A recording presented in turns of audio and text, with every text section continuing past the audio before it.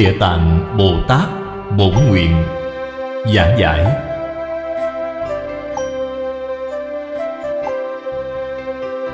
Chủ giảng, Lão Pháp Sư Tịnh Không. Giảng tại Tịnh Tông Học hội Singapore. Thời gian, tháng 5 năm 1998 Tập 71 Xin mời mở bản kinh ra. Phần khoa chú Quyển Hạ. Khoa chú Quyển Hạ trang 3 Mời xem kinh văn. Nhĩ thời Phật cáo Địa tạng Bồ Tát. Ngô Kim Ư Đao Lợi Thiên Cung. Nhất thiết chúng hội Thuyết Diêm Phù Đề Bố Thí. Giáo lượng công đức khinh trọng, Nhữ đương đế thính, Ngô vị nhữ thuyết.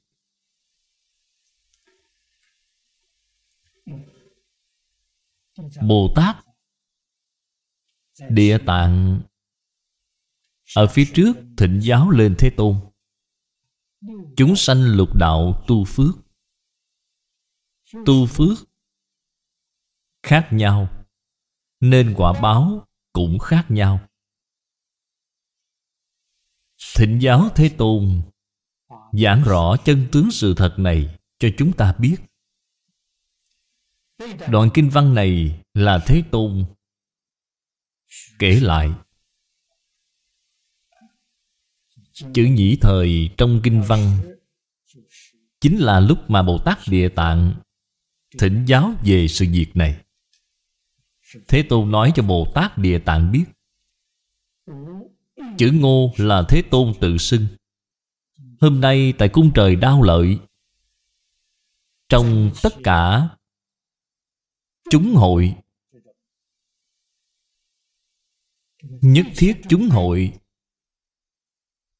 Là bao gồm Cả đại chúng Của mười Pháp giới.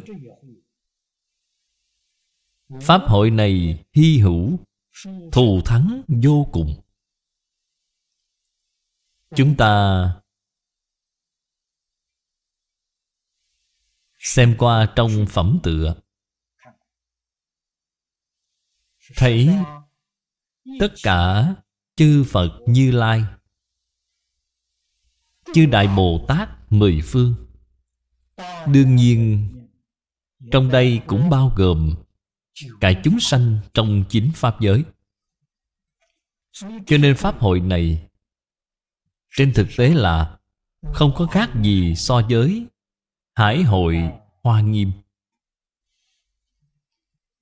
Chỉ có điều Pháp hội này Là mượn cung trời đau lợi Để mở hội. Thực ra là đột phá không gian và thời gian rồi. Chúng ta nhìn thấy Chúng sanh lục đạo trong tận hư không, khắp Pháp giới. Đến tham dự Pháp hội này Cũng giống như tình hình. Trong Kinh Hoa Nghiêm, Đều là chư Phật, Bồ Tát, Ứng hóa Ở lục đạo. Ứng hóa ở ác đạo. Dùng thân phận của những vị quỷ dương này xuất hiện ở trong đại hội.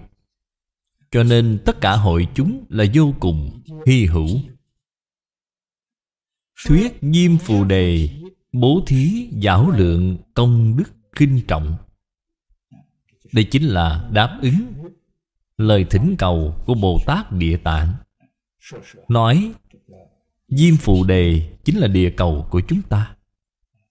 Những người trên địa cầu này, tu phước được quả báo nặng hay nhẹ. Hai câu sau cùng Đặc biệt căn dặn Bồ Tát Địa Tạng. Trên thực tế là căn dặn Đại chúng chúng ta. Nhữ đương đế thính. Đế thính là phải nghe cho thật kỹ. Ngô vị nhữ thuyết. Sau đó, Đây là Thế Tôn Muốn thuyết pháp cho chúng ta. Mời xem kinh văn. Địa tạng. Bạch Phật ngôn. Ngã nghi thị sự. Nguyện nhạo dục văn. Nói thật ra, Bồ Tát Địa Tạng hoàn toàn là đại biểu cho chúng ta.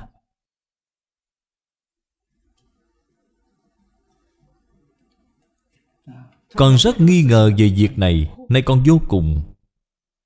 Hoan hỷ, Mong cầu Thế Tôn. Vì chúng con nói ra, Cái chân tướng Sự thật này.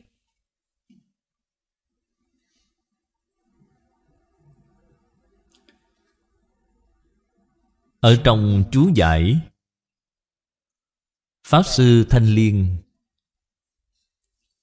Đã nói với Chúng ta mấy câu. Mấy câu này Đều là tình trạng Trong đời sống hiện thực. Chúng ta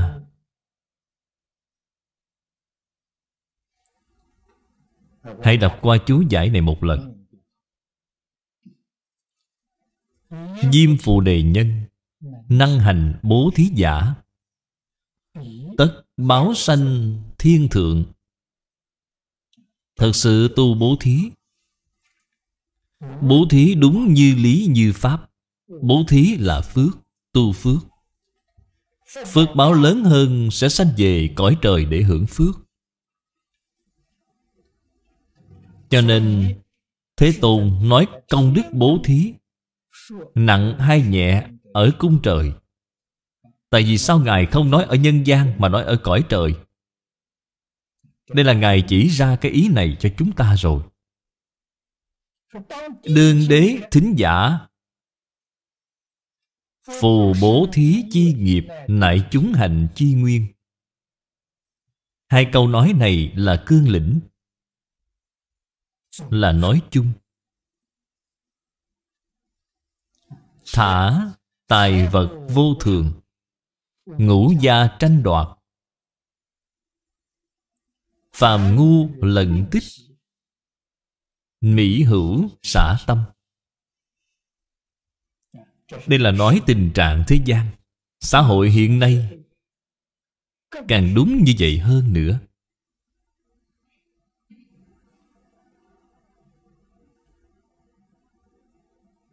Họ không từ bất kỳ thủ đoạn nào Để đoạt lấy tài vật. Đây là tạo tội nghiệp. Tội sử thê nhi giác mục. Đây là gia đình bất hòa.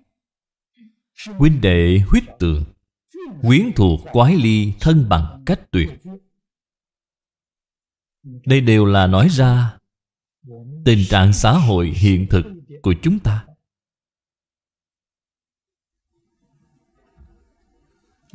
Rốt cuộc là do nguyên nhân gì tạo nên vậy hiện nay tình trạng này quá bình thường, quá nhiều rồi. Ở trong nước, ở ngoài nước, hầu như sáu căn của chúng ta tiếp xúc toàn là cảnh giới này. Chúng ta muốn hiểu rõ Nghiệp nhân quả báo này, Vậy thì phải nghe thật kỹ Lời khai thị dưới đây của Thế Tôn. Trang thứ tư. Mời xem kinh văn. Phật cáo Địa Tạng Bồ Tát. Nam Diêm Phù Đề, Hữu chư quốc vương. Tế phụ đại thần. Đại trưởng giả. Đại sát lợi Đại bà la môn đẳng. Những người này Đều là người có địa vị, Có của cải, Có thể bố thí ở trong xã hội. Nhược ngộ tối hạ bần cùng. Nải chí lung tàn âm á. Lung si vô mục, Như thị chủng chủng bất hoàng cụ giả.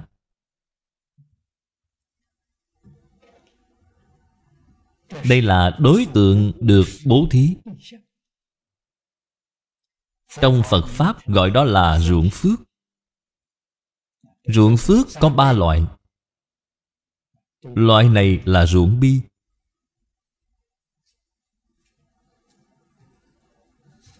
Là kẻ đáng thương nhất của thế gian.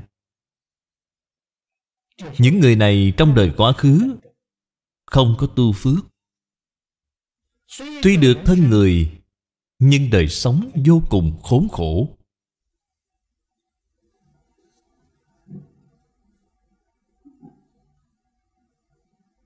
Những người có khả năng như chúng ta. Nhìn thấy những chúng sanh này, cần phải dùng tâm đại từ bi, hết lòng hết dạ để giúp đỡ họ. Nghiệp nhân quả báo. Pháp sư thanh liên ở trong chú giải cũng có đề cập sơ lược rồi. Câu sau cùng. Ngài trích dẫn. Lời trong kinh nói. Muốn biết nhân đời trước, Xem thọ hưởng đời này. Muốn biết quả đời sau, Xem việc làm đời này. Phước báo như bóng theo hình, Nên không thể không biết. Gieo phước được phước Là như bóng theo hình. Cần phải hiểu rõ đạo lý này.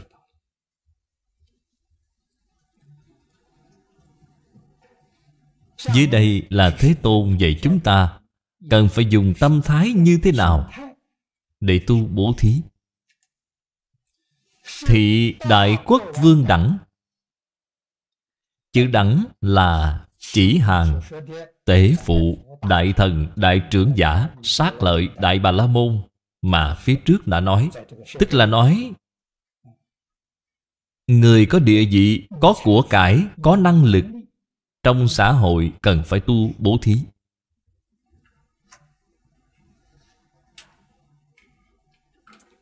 Đức phật thường nói trên kinh, có phước báo, phải nên cùng hưởng với tất cả chúng sanh. Thì phước báo này lớn rồi. Loại phước báo này vĩnh viễn hưởng thụ không hết. Nếu như tham tiền của Keo kiệt chỉ dành riêng cho mình hưởng thụ. Mặc dù phước báo của bạn rất lớn Đời này sau khi bạn thọ dụng hết rồi Thì đời sau sẽ không còn phước nữa.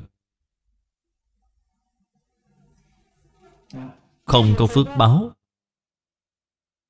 Vậy họ sẽ đi về đâu? Điều này chúng ta biết rất rõ ràng, minh bạch. Nếu như không phải đi vào ác đạo Ở cõi người cũng là bần cùng. Các căn sẽ không được đầy đủ, Cũng sẽ đọa lạc vào giai cấp này. Cho nên chúng ta hiểu rõ đạo lý này, Hiểu rõ chân tướng sự thật, Thì phải nên tu phước. Người giàu sang có thể tu phước, Người nghèo cùng cũng có thể tu phước. Giả lại tương lai được quả báo Cũng là bình đẳng mà. Chỉ cần hết lòng, hết sức tu phước, Đều là viên mãn. Thị đại quốc vương đẳng Dục bố thí thời. Lúc làm việc bố thí, Nói thật ra bố thí là mọi lúc mọi nơi. Không được phép gián đoạn. Điều quan trọng là bạn dùng tâm như thế nào? Để giúp đỡ người khác. Nhược năng cụ đại từ bi, Hạ tâm hàm tiếu, Thân thủ biến bố thí Hoặc xử nhân thí. Cách bố thí này là thù thắng nhất. Là tâm từ bi chân thật, Đại từ bi, Là tâm bình đẳng, Tâm thanh tịnh. Không có phân biệt, Không có chấp trước. Đối với tất cả chúng sanh, Có cùng một tâm yêu thương giống nhau. Đây gọi là đại từ bi. Hạ tâm là khiêm tốn. Tôn trọng người. Không có một mảy may tập khí ngạo mạn.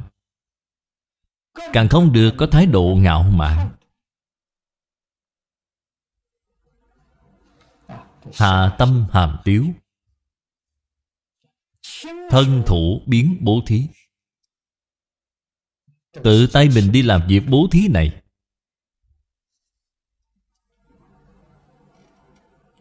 Nếu như lúc nhân duyên không đầy đủ, Mình không có cách gì đích thân đến nơi đó Để làm bố thí được. Thế thì phải phái người khác đi. Phái người đại diện. Phái người khác đi cũng phải chỉ cho họ biết. Cái tâm thái bố thí. Nguyễn ngôn, úy dụ. Dùng lời lẽ ôn hòa, Dịu dàng. An ủi những người tiếp nhận bố thí này. Họ đều đang sống trong hoàn cảnh khó khăn, Nên phải có lời an ủi họ. Thị quốc vương đẳng Sở hoạch phước lợi. Như bố thí, Bách, hằng hà sa Phật, Công đức chi lợi. Mọi người đều biết, Công đức bố thí cúng dường Phật là lớn nhất. Người nào cũng đều thích Cúng dường Phật. Nhưng lại lơ là Đối với những người nghèo cùng này.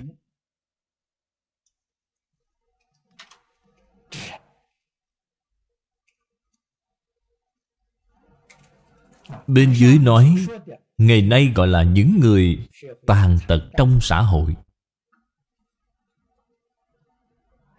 Bố thí cho họ, Phước báo mà bạn nhận được Không có khác gì so với bố thí cúng dường chư Phật Như Lai.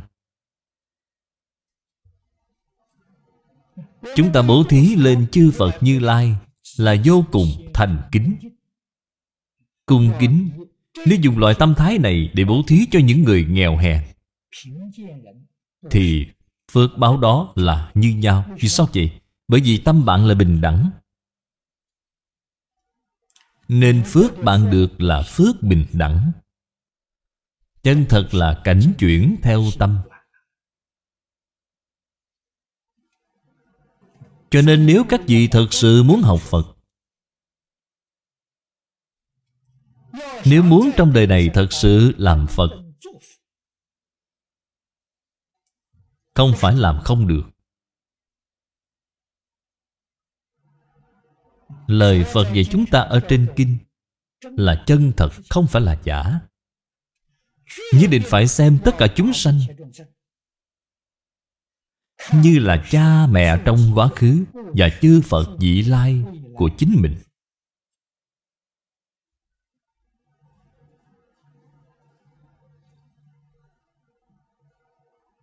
Chúng sanh rõ ràng có người giàu sang. Chúng ta biết họ đời trước có tu phước, là cha mẹ quá khứ của chúng ta. Trong chúng sanh có người nghèo cùng, chúng ta cũng hiểu rõ do trong đời quá khứ không có tu phước. Họ cũng là cha mẹ của chúng ta trong quá khứ. Chúng ta dùng tâm, chân thành, thanh tịnh, bình đẳng giống nhau để hiếu thuận. Bố thí cúng dường là hiếu dưỡng cha mẹ là phụng sự chư Phật. Cho nên Phật dạy chúng ta, tất cả chúng sanh có quan hệ gì với chúng ta? Là cha mẹ trong đời quá khứ, là chư Phật như lai, vị lai. Nếu như chúng ta dùng tâm thái như vậy, để nhìn tất cả mọi người, nhìn tất cả chúng sanh, thì thời gian thành Phật của bạn sẽ rút ngắn. rút ngắn với biên độ lớn. Nếu như bạn niệm Phật cầu sanh thế giới Tây Phương cực lạc, Thì đời này chắc chắn giảng sanh. Hay nói cách khác, Tại vì sao bạn niệm Phật mà không thể giảng sanh làm Phật? Là do bạn xem thường chúng sanh. Chính mình có thái độ Cống cao ngã mạn. Nên bỏ lỡ cơ hội giảng sanh bất thối thành Phật Ngay trong đời này của mình. Không phải chư Phật Bồ Tát Không giúp đỡ bạn, Mà do bạn bỏ lỡ cơ hội ngay trước mắt.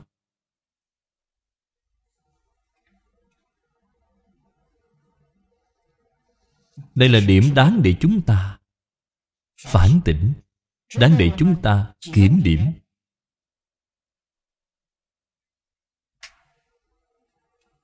Nếu như trong những việc này Thật sự giác ngộ, hiểu rõ rồi, Thì con đường Bồ Tát Đạo của chúng ta Sẽ thật sự thuận bượm xuôi gió. Làm gì có chướng ngại được?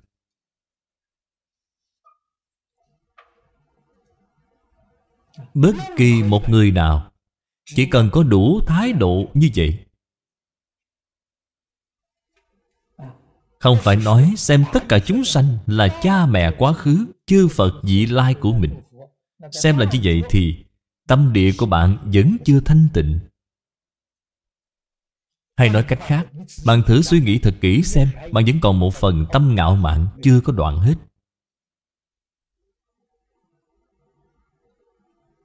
Nhất định phải hiểu rõ chân tướng Sự thật này. Họ thật sự là cha mẹ quá khứ. Chứ không phải xem là Thật sự là chư Phật vị lai.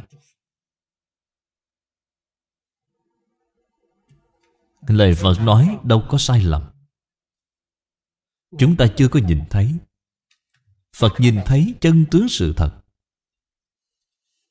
Chúng ta trong đời quá khứ Quá khứ còn có quá khứ nữa Quá khứ vô thỉ, Vô lượng vô biên kiếp đến nay Có quan hệ thân thuộc với chúng sanh này. Tại vì sao quan hệ thân thuộc không được tốt đẹp vậy? Phần lớn là do keo kiệt.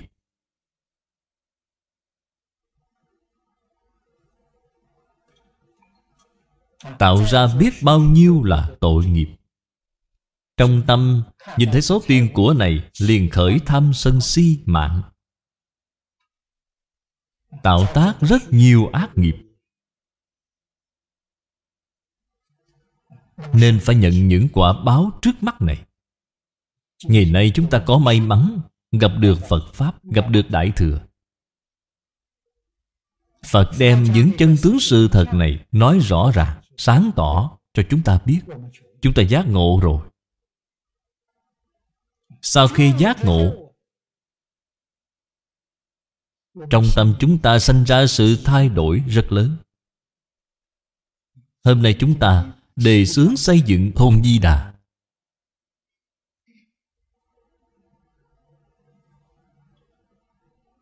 Hoan nghênh đồng tu đến nơi này để cộng tu.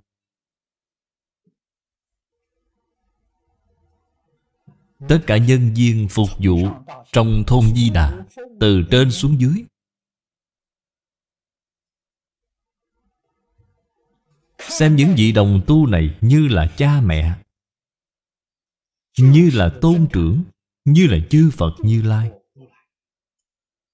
Chúng ta dùng tâm chân thành, Hiếu thuận.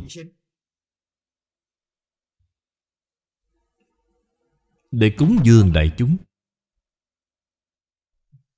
Phước báo đúng như trong này nói. Như bố thí bách hằng hà sa Phật, Công đức chi lợi. Cơ duyên hiếm có. Hy hữu khó gặp. Trong đời này, Chúng ta đã có thể gặp mặt nhau Ở mảnh đất Singapore này. Là may mắn biết bao.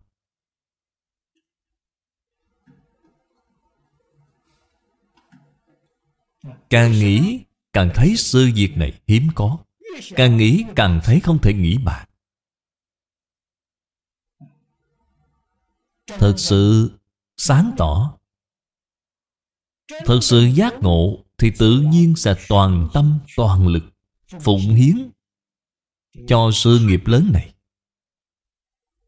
Sự nghiệp lớn này chính là cúng dường cha mẹ, Cúng dường chư Phật.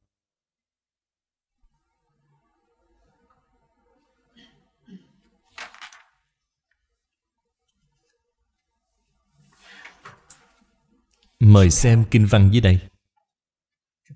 Hà Dĩ Cố. Thế Tôn giải thích đạo lý này Cho chúng ta. Duyên thị quốc vương đẳng. Ư thị tối bần tiện bối. Cặp bất hoàng cụ giả Phát đại từ tâm.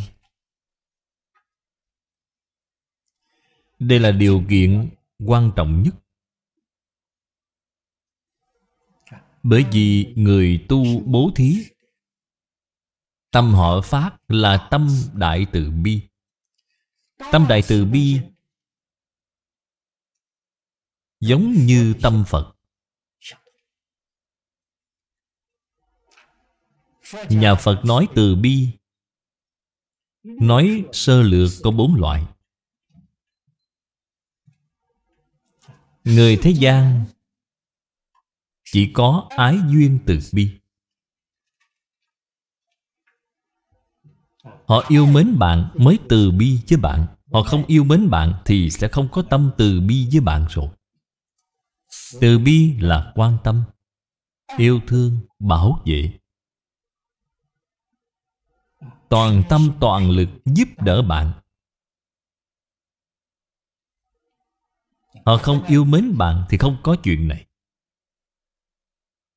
Người có trí huệ, Có phước đức lớn trong thế gian.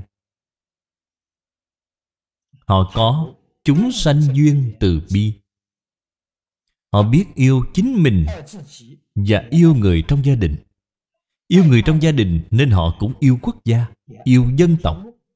Thậm chí là yêu thương tất cả chúng sanh trên thế giới. Tâm lượng của người này là lớn rồi. Người có tâm lượng lớn, Phần lớn đều là những nhân vật thuộc về giai cấp lãnh đạo ở trong xã hội. Họ có tâm yêu thương rộng lớn. Phạm vi bố thí cúng dường Phục vụ của họ rất rộng.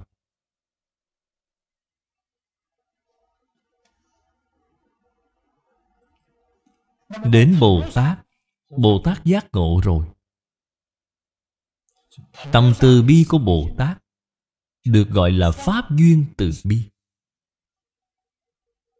Giống như chúng tôi vừa rồi mới nói, Chúng ta xem tất cả chúng sanh Là cha mẹ quá khứ Và chư Phật vị lai của mình. Bạn tu hiếu kính, Tu cúng dường như vậy Là thuộc về Pháp duyên từ bi. Pháp duyên vẫn là có điều kiện. Tâm đại từ bi trên quả địa Như Lai Là không có điều kiện. Nhất định không có phân biệt, Không có chấp trước. Hoàn toàn là rất tự nhiên. Trong Phật Pháp gọi là Pháp nhĩ như thị. Đây mới gọi là Đại từ bi. Phước báo đó là vô lượng, vô biên. Tuyệt đối không phải Chúng sanh duyên pháp duyên Có thể sánh nổi. Tâm người này phát ra là tâm đại từ bi, Là giống như Phật vậy. Ngày nay chúng ta muốn học Phật, Muốn tu phước báo lớn. Bạn phải hiểu được đạo lý này bạn phải hiểu rõ chân tướng Sự thật này, chúng ta có thể làm được. Người có tiền có của cải bố thí, Họ bố thí được nhiều.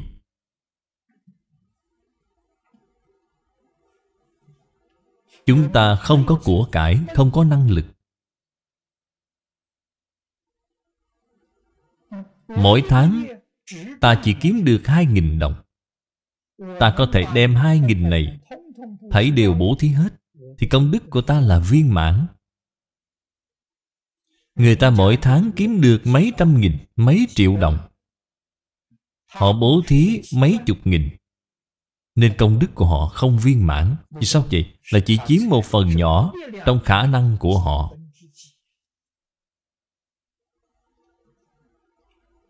Phước báo của tôi tuy nhỏ, Nhưng tôi đem toàn bộ ra bố thí. Vì tỷ lệ bố thí cúng dường này của tôi là 100% Cái tâm là 100% Sự cũng là 100% Nên được quả báo là 100%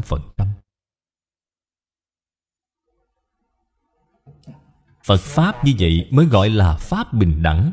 Tuyệt đối không phải người có thế lực, Có của cải mới có thể tu bố thí. Có người nghèo cùng thì không thể tu bố thí. Nếu như vậy thì người nghèo cùng chẳng phải đời đời kiếp kiếp, Mãi nghèo cùng. Giàu sang chẳng phải đời đời kiếp kiếp, Mãi giàu sang hay sao? Đâu có đạo lý này. Cho nên, Chúng ta thật sự sáng tỏ lời Phật dạy trên kinh.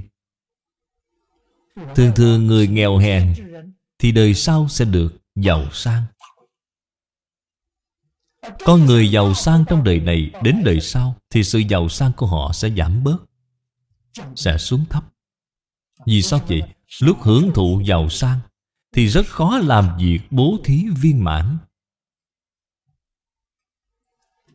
Đạo lý là ở chỗ này. Đây mới gọi là đạo trời công bằng. Người nghèo hèn cũng có thể tu đại phước báo. Ở trên kinh, Phật cũng đã từng nêu thí dụ cho chúng ta thấy. Dường như chỗ này, Ngài không có nêu ra câu chuyện này. Nhưng có nói qua trong kinh Tiểu Thừa.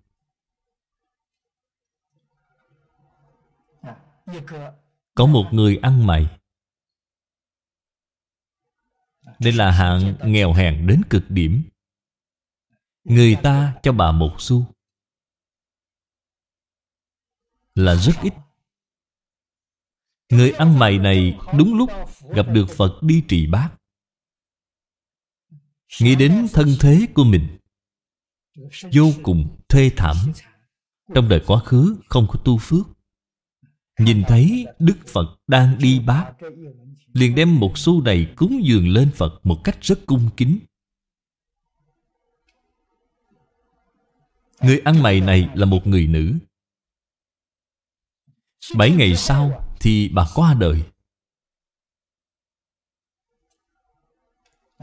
Bởi do gieo cây phước này, Nên bà đầu thai Vào gia đình trưởng giả giàu có là đi hưởng phước rồi. Sau khi trưởng thành, Bà đã làm hoàng hậu. Bố thí cúng dường một xu lên Đức Phật, Được phước báo lớn như vậy. Đây là điều mà người bình thường Rất khó tin nổi. Tại vì sao được phước báo lớn như vậy? Tâm bà phát là tâm đại từ đại bi, Tâm chân thành cung kính. Phước là được sanh ra từ chỗ này, Chứ không phải là ở trên một xu. Một xu thì có đáng gì? Ở trên tâm của bà. Vua thì có nhiều tiền của rồi. Bố thí cho nhân dân. Nuôi dưỡng nhân dân. Giáo dục nhân dân. Nếu như không phải dùng tâm đại từ bi, Khiêm tốn, Hạ mình thì phước báo mà họ tu sẽ không được hoàn toàn. Đời này làm vua, đời sau sẽ làm đại thần. Đời sau nữa, chức quan sẽ càng ngày càng nhỏ đi, càng ngày càng đi xuống. Tuy bố thí về mặt tiền của là nhiều, nhưng tâm không thanh tịnh, tâm không đủ từ bi. Cho nên từ Đại Từ Bi hạ xuống đến Pháp duyên từ bi, Chúng sanh duyên từ bi, Ái duyên từ bi, Đó chính là mỗi đời một tệ giận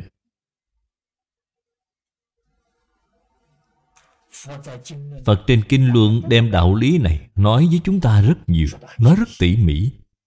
Chúng ta phải hiểu cho thật kỹ. Phải nhớ kỹ Mọi lúc mọi nơi. Đối nhân xử thế. Phải luôn nhớ kỹ lời Phật dạy chúng ta là chân thật. Cho nên phải dùng tâm khiêm tốn, cung kính Đối xử tất cả mọi người. Toàn tâm toàn lực giúp đỡ mọi người. Giúp đỡ mọi người là giúp đỡ cha mẹ của mình. Là giúp đỡ chư Phật Như Lai. Bạn nói tâm này của chúng ta vui sướng biết bao. Hạnh phúc biết bao.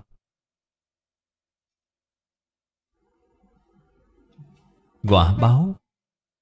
Được phước lợi lớn hay nhỏ, Hoàn toàn ở cách dụng tâm của bạn. Chứ không phải ở vật bạn bố thí có nhiều hay ít. Là tâm của bạn.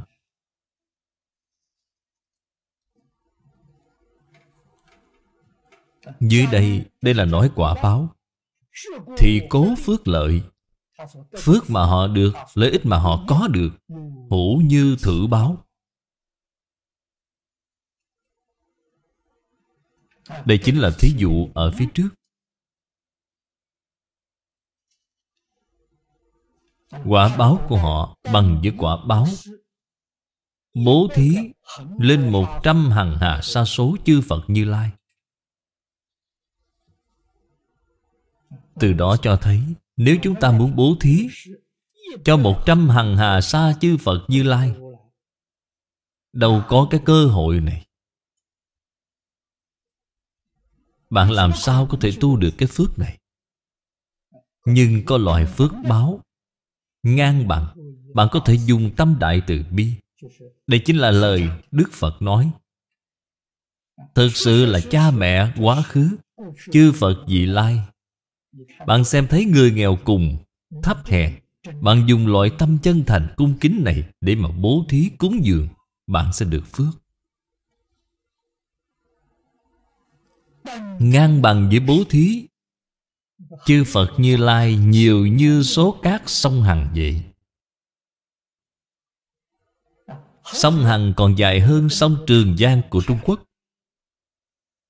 Bạn thử nghĩ xem cát ở nơi đó nhiều hay ít. Phật nói đến số lượng thông thường, Đều dùng số cát sông Hằng để làm thí dụ. Cát của một con sông Hằng đã ngoài sức tưởng tượng rồi. Số cát của một trăm con sông Hằng thì vô phương tính đếm được.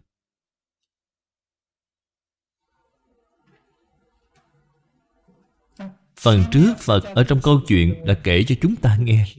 Một người nữ ăn mày, nghèo khó Chỉ dùng một xu bằng tâm chân thành cung kính Cúng dường Phật Đời sau được quả báo làm hoàng hậu. Bạn có thể cúng dường bố thí một trăm hằng hà sa số, Chư Phật Như Lai. Vì quả báo này của bạn, Phước báo này của bạn Mau lớn là không cách gì nói được rồi.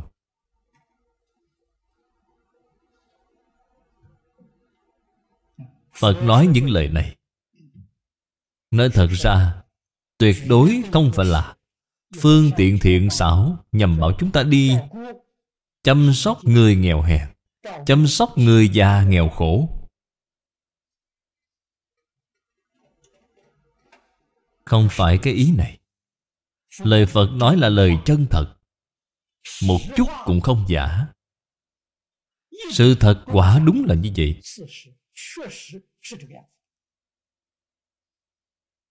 Phàm phu chúng ta để mê mất tự tánh. Không nhìn thấy Chân tướng của vũ trụ nhân sanh. Cho nên, Ở xung quanh chúng ta, Nơi nào cũng là ruộng phước Mà chúng ta không biết gieo trồng, Trái lại đi tạo tội nghiệp. Đây chính là trên kinh Phật thường gọi là Kẻ đáng thương xót. Ruộng phước là ở xung quanh bạn Mà bạn không biết gieo phước.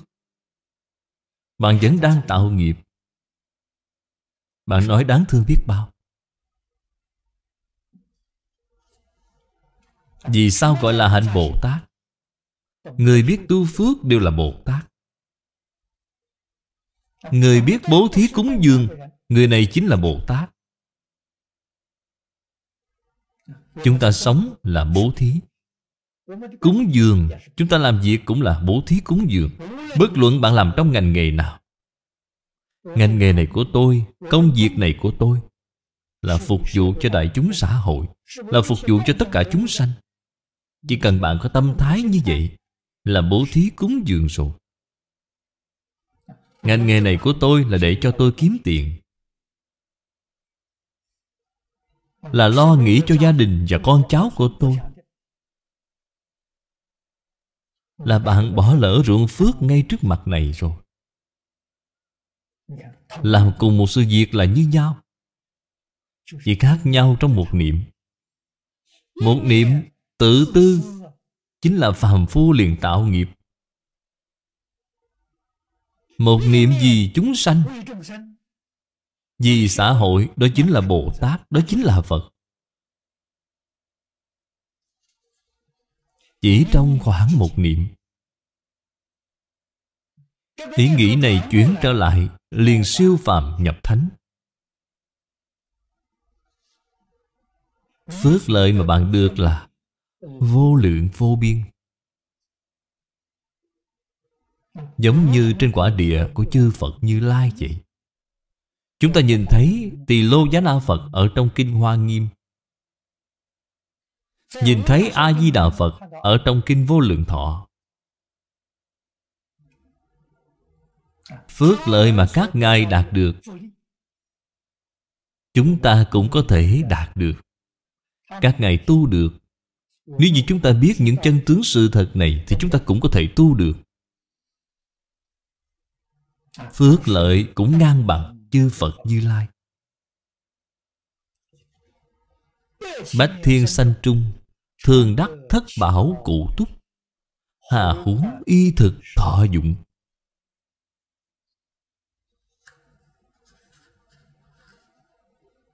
Phước báo này không phải Một đời một kiếp. Mà đời đời kiếp kiếp dính diễn hưởng không hết. Chị xem cái ý nghĩ đó của bạn, Có thể chuyển trở lại được không? Khi con người có phước báo, Thì trí huệ cũng mở mang. Đúng như câu nói, Phước đến thì tâm linh. Phước báo hiện tiền, Thì tâm tư cũng linh hoạt, nhạy bén. Trí huệ liền hiện ra ngay. Phật dạy chúng ta phước huệ song tu. Lại thật ra, huệ chính là Giác ngộ. Chính là sáng suốt. Phước là làm việc. Cái này một khi sáng suốt rồi, Hiểu rõ chân tướng sự thật, Thì Huệ liền mở ra ngay. Biết được vì tất cả chúng sanh là đúng. Là phải nên làm. Vì mình là sai rồi Là không nên làm. Trí huệ của bạn mở rồi. Từ nay về sau Khởi tâm Động niệm. Niệm niệm vì chúng sanh Vì xã hội, vì nhân dân.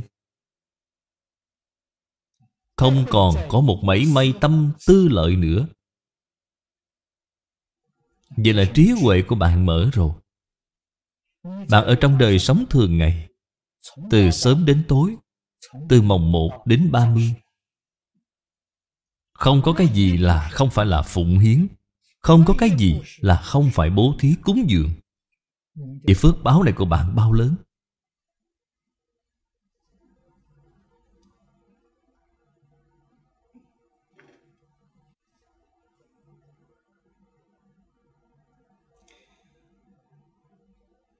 Chú dạy của Pháp Sư Thanh Liên.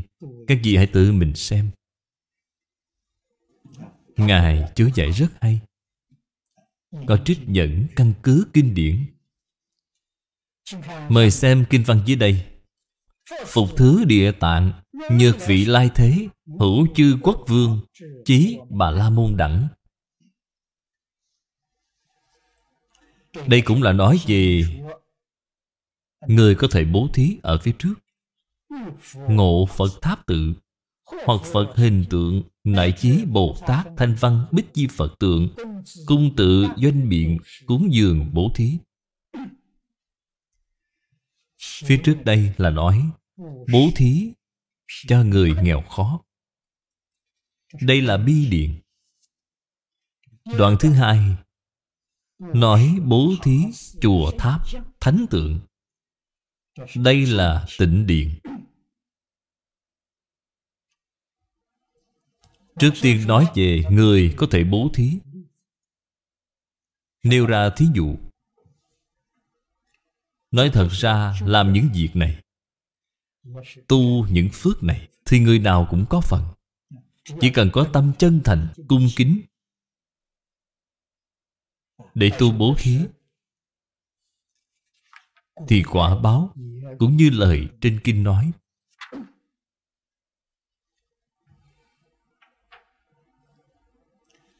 Chỗ này, Chúng ta nhất định phải hiểu rõ Chân tướng sự thật.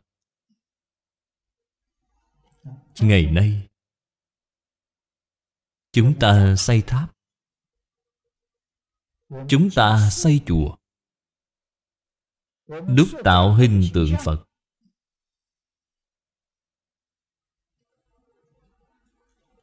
Tương lai được quả báo. Có giống như lời trên kinh nói hay không?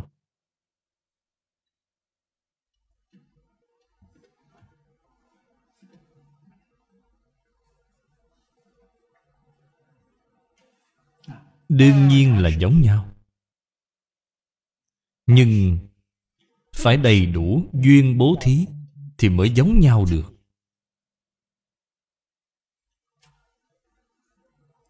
Nếu như duyên không đầy đủ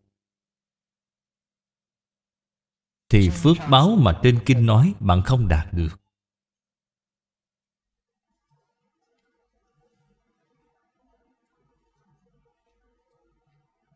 Phước báo phía trước nói lớn như vậy Là dùng tâm từ bi của Phật để tu.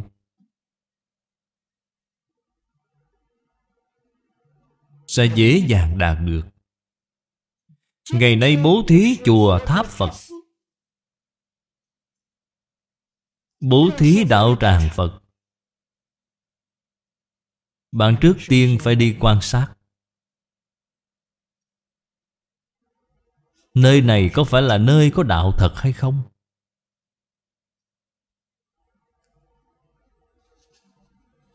Xây dựng đạo tràng. Tôi đã từng nói qua với các vị đồng tu rồi. Từ xưa đến nay, Không phải nói xây đạo tràng xong rồi đi khắp nơi tìm người tu hành. Không phải vậy, Đó là phan duyên. Không thể được phước. Cần phải tu như thế nào? Nhìn thấy có người tu đạo chân chánh, Bạn mới xây đạo tràng cho họ, Thì phước báo này mới lớn. Dùng năng lực của bản thân bạn để giúp đỡ họ, Để thành tựu cho họ. Đây là phước báo chân thật. Ngày nay chúng ta Thật sự nhìn thấy Có một số đạo tràng hoàn toàn không đúng như Pháp.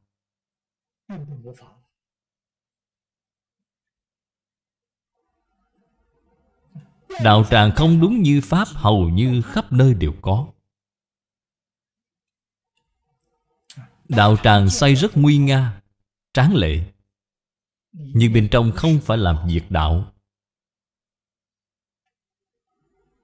Chỉ là để mấy người ở trong đó hưởng phước. Sống ở trong đó tạo nghiệp.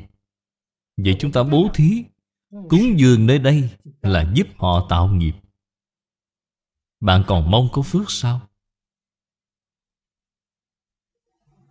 Họ tạo nghiệp là do bạn giúp họ tạo nghiệp. Khi họ đọa lạc thì bạn cũng phải bị liên lụy theo.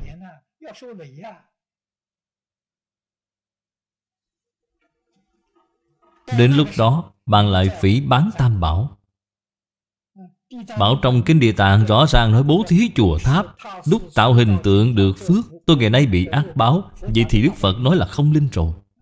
Thế là bạn phỉ bán Phật Pháp Tăng, Làm nặng thêm tội nghiệp, Đọa địa ngục A Tỳ. Phật không có nói sai, Do bạn hiểu sai ý nghĩa.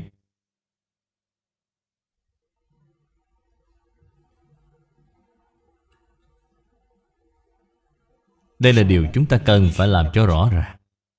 Phía trước nói, bố thí cho người nghèo cùng, Thì không có vấn đề gì. Chỗ này nói, bố thí chùa tháp thì có vấn đề, Là phải có người tu đạo chân thật. Bố thí cúng dường phải như thế nào? Phải đúng như lý, như pháp. Nơi này có vài ba người tu hành. Che cho họ cái âm tranh là được rồi. Do người ít không cần phải có đạo tràng lớn như vậy. Hay nói cách khác, Đạo tràng lớn hay nhỏ, Hình thức phải thích hợp. Dùng cho việc hành đạo hiện tại của họ. Vậy thì là Như Pháp, Như lý như Pháp. Nếu như làm quá mức, Nơi này của họ chỉ có mấy người tu hành. Mà xây đạo tràng thật lớn. Vậy thì có tội lỗi rồi. Vì sao vậy? Đạo tràng lớn như vậy, Nếu như trong đó chỉ có năm, sáu người ở, Thời gian mỗi ngày quét dọn môi trường còn không đủ. Chẳng phải bạn làm cho người ta mệt chết sao? Họ có thời gian đâu mà tu nữa chứ. Chúng tôi từng thấy Đạo tràng rất lớn, Đạo tràng trang nghiêm. Hỏi họ trong đó có bao nhiêu người ở? Họ trả lời khoảng 5-6 người. Dọn dẹp môi trường phải làm thế nào? Rất nhiều gian nhà phải đóng cửa lại, Không có thời gian quét dọn. Một năm chỉ có mở cửa mấy lần Khi tổ chức pháp hội. Tìm một vài vị tín đồ giúp đỡ dọn dẹp. Bình thường thì chẳng dùng tới. Vậy thì rất là không đúng như Pháp.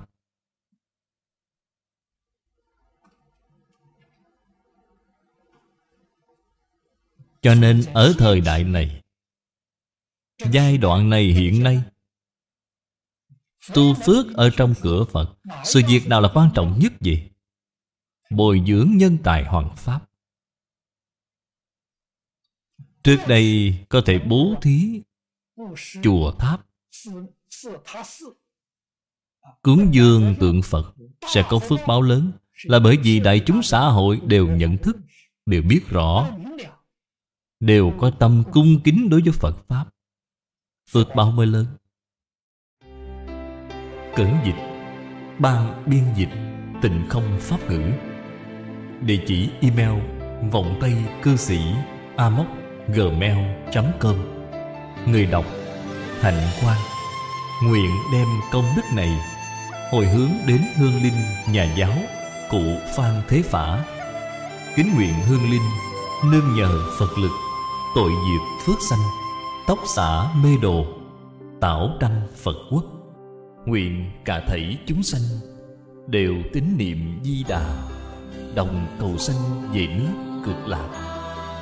Nguyện đem công đức này Trang nghiêm Phật tịnh độ.